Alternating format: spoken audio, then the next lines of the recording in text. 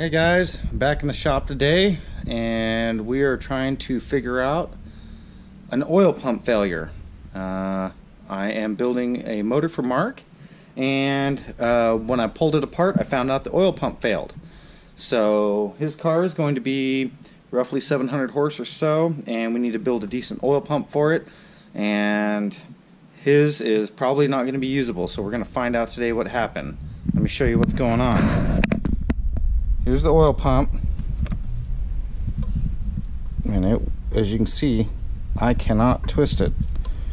I can cannot get this bad boy to hardly turn at all. She is basically seized up. So we're going to find out what actually happened with this bad boy. And um, we're going to build a brand new one with some straight cut gears. Here's some uh, part numbers from Mitsubishi for some of these parts and pieces that you'll be using. Um, uh, this is the balance shaft block off plate. It's a little uh, it's a little rubber disc that blocks off this. Instead of having to use a freeze plug use this. Fits right in there. That's the part number. Here is the balance shaft stubby right there. There's your part number. This cover that is that cover. It has an o-ring behind it but these brand new covers that's the part number for that. Your straight cut oil pump gears. Here you go. So here's the little one. And then this is the bigger one. This is that guy right there. Straight cut gear, straight cut gear. So those are the part numbers that you're going to need to get from Mitsubishi to uh, do this. And uh, that way, you know, you can do a nice straight cut oil pump. But uh, as you can tell, as I got a whole box of extra parts, got some turn down balance shafts here, so. And then, in case you're wondering also, this is the spacer. This eliminates the, um, the actual balance shaft uh, uh, belt gear right here. So if you want to get this, that's the part number for Mitsubishi for that. So, um, there's all our part numbers. We'll, uh, let's get to uh, tearing apart this oil pump and see what happened to it. And then let's build a straight cut stub shaft oil pump for this motor as we're waiting on the uh, crankshaft to get here because uh, it's on back order from K1 so we're waiting. Alright, here we go. Alright, you're going to need uh, 14 millimeter for this. These are 12s and then you're going to need, oh well this one's got an Allen wrench. A lot of times you need one of these for that. So, first off,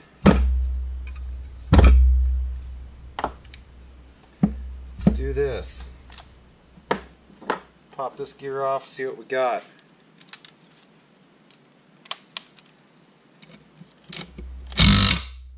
Yeah, it's spinning now.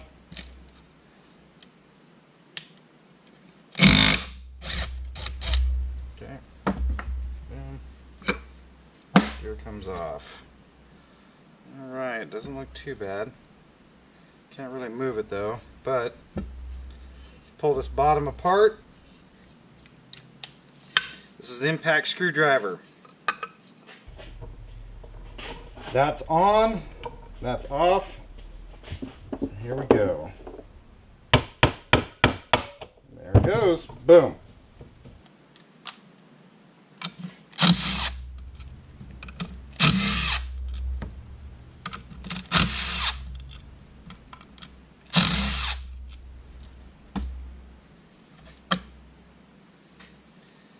Oh wow, that's different. Ooh, look at that. Look at that buildup right there. Ooh, we've got some uh, got some shavings in there, don't we? That is uh, that is no bueno. I'm not gonna be using this. This bearing surface feels okay. As you can tell, it, it kind of comes through. But we got a lot of oil we got a lot of shavings in this bad boy. This might this might actually be from uh, the motor because the motor ingested a lot of uh, its internal pieces. So look at that dude. That thing does not want to turn at all. That thing is toast. So when this happens this is junk. Can't use it. Can't use this This turned down balance shaft, I don't really like it. It looks like they shaved it with like a, a they sanded it or something. I don't know. I'm not probably going to end up just eliminating all of this right here. So, let's see what we got here. This oil pump is toast. I'm not to save the gear, so. Yep, there it is. We've got, look at that. Look at all of that. Look at that goodness right there. Woo! Look at that. That is toast. So, from the looks of it, it just ingested the motor. And can't really tell, but down in there, we've got a lot of marring up right there. Yeah, and right there. I don't know if you can see it very well, but now that I've got the uh, pieces of metal out of there. Yeah, she spins a little bit better. She is gritty though. Man, talk about gritty. Oh, she's getting tough right there. Oh, got loose again. Alright, so what I think we got going on here is it just ingested the motor and it decided to um, to mess up this bearing surface. This is aluminum. This is hardened steel. So this case is really soft. Yeah, and I mean it's not not horribly destroyed internally there, but you know, this bearing surface in here is messed up, so yeah. Alright, so what you want to do with all this stuff is you want to throw it away. Alright, so this I took out of my stash of oil pump covers. So, there is a little bit of scuffing going on right here, a little bit right here. So I like to take a little emery cloth and just get in there and just kind of make sure you just get all the high points, you know, because you've got got this area right here, and then you got this area right here. These parts have cosmoline on them, so kind of want to get in here. Kind of clean them up factory Mitsubishi stub shaft. Alright, so this gear doesn't really have the cosmoline on it, but if you look at this gear, we've got all kinds of kind of cosmoline. This is just kind of a, a an anti-rust agent. So, put that aside. That's that.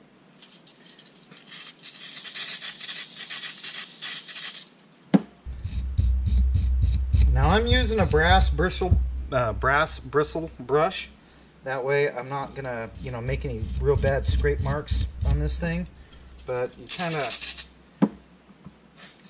it's good to just get this cosmoline out from underneath all this stuff. It's, it's like wax. Basically it is wax. But you don't want to get in there and mar this stuff up there's just a lot of it in between these gear faces and I kind of want to go through and inspect and make sure that there isn't a, a whole lot of it left. Alright, go. Alright, I used Joe Gibbs driven. Good stuff. So, you know, want to get in here. You want to lube this guy up right in here.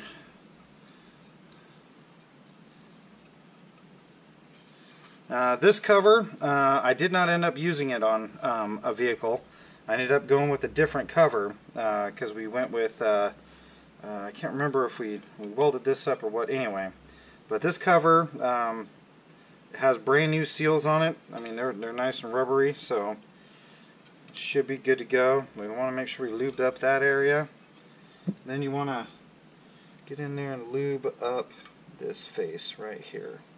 Don't have to do a whole lot, but you just want to kind of get this face all lubed up.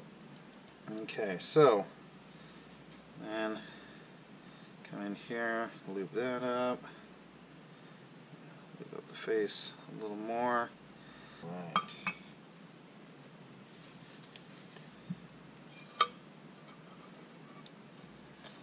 Ooh, that feels good. Now, spinning it And then also you want to feel if there's any kind of deflection. You know, if this cover is bad, if there's something wrong with it, you're going to feel, you know, even with the assembly lube, you'll feel a little bit of deflection in there. It might even help to put the gear on there a little bit.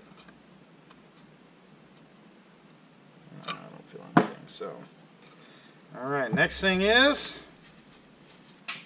red Loctite. You want to Loctite. Now, very important. This gear, this indentation right here actually goes on this side, just like this.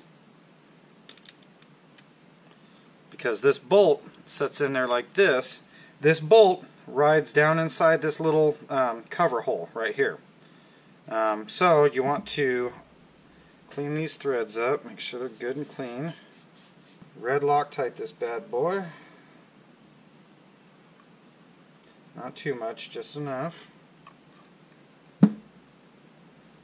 Stick that bad boy down in there. It is a 12 mil.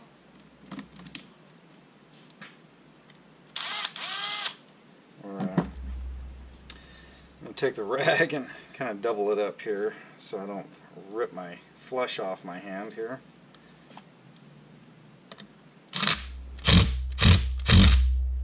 You don't want to put this in a vise. You don't want to put this in a vise. You don't want to put this in a vise. You just want to just grab it and you know that's why you use the red Loctite.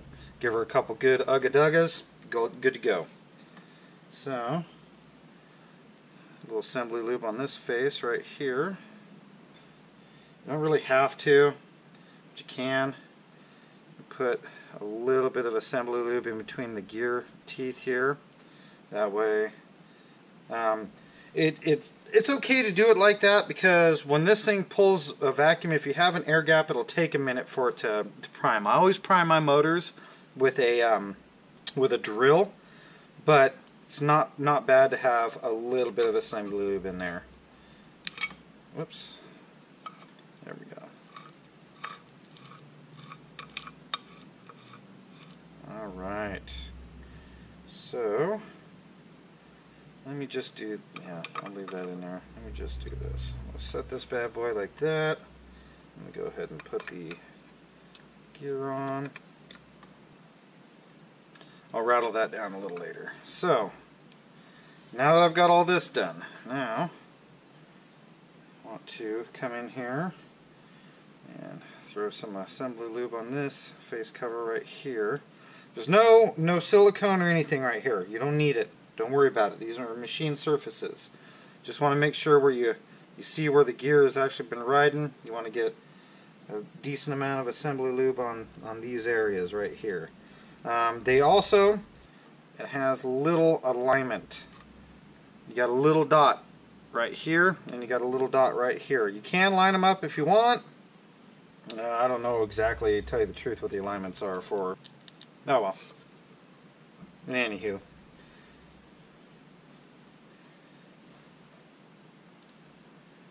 It's all going to be one direction. I mean, once you get this thing in there, once you spin it the right direction, you set it up, the balance shaft, um, you know, the weight will be down on the bottom. So when you set the motor in there, or when you set this thing in there, uh, you want to make sure that you, you get your balance shaft orientation correct, and then your timing orientation correct right here. So this thing's kind of wedging itself because it doesn't have any kind of support. So, there's the cover, there's all that fun stuff. Got alignment dowels. So, just press that on. Doesn't have to be crazy. Oh yeah, that spins nice. Okay. Now, you can use Loctite on these. So, I don't suggest the red. I do suggest some blue. But on the actual screw, let's see, I'm going to move these over. On this screw, I do not recommend Loctite. You're going to hammer that in. I'll show you. But on these bad boys, I do recommend just a little bit of Loctite, not a lot. You do not want to be trying to pull this thing apart because remember it is aluminum so blue, blue, blue, blue. Good to go. Shake off the excess. Alright, this is 12 millimeter, so just get in there and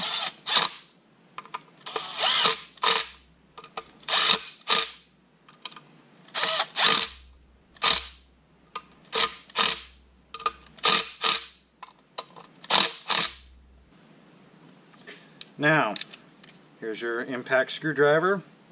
The stock screw is a Phillips one. The one that came out of here was kind of an aftermarket. I'm not sure who built this motor, which I, wasn't really too keen on their building, but um, I mean this thing is a grade 8 screw. It's a decent little screw. We'll set that aside. But this screw, spin on in there and then your your impact screwdriver you're going to want to twist it to the tightening side. Hang this end off the bench. You'll hold it tight like this and then give her about two three little whacks nothing crazy. Now you got a nice oil pump. Listen to that. Sounds good that's the, the clearance on, on your gears. Then grab this guy and you're just going to have to hold on to this. Okay. We now have a built oil pump. Boom. Uh, that you just hammer in with a socket, no big deal. This you can just use a, a flathead screwdriver to kind of take it off. You, you pound it this way and then you kind of pound it this way to tighten it. There is an O-ring underneath here, so you do have to replace that O-ring um, if uh, if you end up taking it apart and you notice that the O-ring is pretty much plastic. You know, the the O-rings get just harder than the back of your head. So, but that now is a built oil pump with a stub shaft with straight cut gears. Um, I do like the straight cuts. Um, they ended up going away from the straight cuts due to noise, a little bit of whine, but you know what? Oh yeah, she's starting to quiet it, quieten down. Yeah, that feels good. Woo! That is nice. Nice thing is, go to put your timing belt on, you don't have to worry about that alignment. You don't got to sit there and mess with that. You just slap your belt on, call it a day. Stub shaft, you know, doesn't doesn't need uh, any kind of alignment. Um, I did in the past, I threw a little silicone on the back side of that, but uh, uh, anymore I don't. I mean, I just throw a little silicone on the seal itself when I pound it in, kind of lube it as it goes in, so we're good. But that is how you assemble an Evo oil pump. DSM guys, 6 bolt guys, you can do the same thing. It's basically exactly the same thing. But uh, yeah, so DSM guys, same assembly, same everything. It's all the same stuff. So there we go. She's good. Now I can bag this bad boy up, set it over there on his motor uh, stuff, and when I'm ready to assemble the motor, just got to get the gasket for the backside, bolt her on. This thing's going to be ready to rock and roll.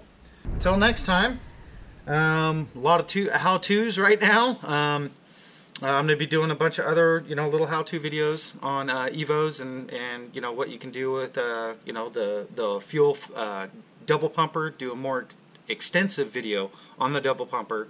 But, you know, it's wintertime in Idaho right now, so we're just working on cars and trying to get the races where we can. And um, if you want to see uh, a couple good races, uh, check out my good buddy, Jake Montgomery, JM Racing his page. Uh, he uh, we went out the other night in my Evo and played around a little bit. So uh, go check him out. You know, and like and subscribe mine, and like and subscribe his, and you know we'll uh, keep putting out the content. You know, just a uh, bunch of guys out here in Idaho, just trying to have some fun, build some cars. Right on. Well, see you on the next one.